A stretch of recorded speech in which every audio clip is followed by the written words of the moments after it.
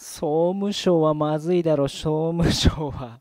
ね、放送事業体と総務省がくっついちゃったらダメだろう。しかもおまけに内閣の広報官まで。え？ダメだろう。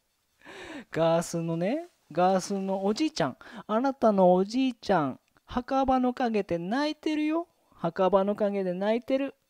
おじいちゃんのね、実家まだちゃんとありますから。まあ、この大雪でちょっとやばいかもしんないけど、去年見に行った時は、まだ空いてたから、空き家でね、おじいちゃんのお家に来なさい。もう、おじいちゃんのお家に来なさい。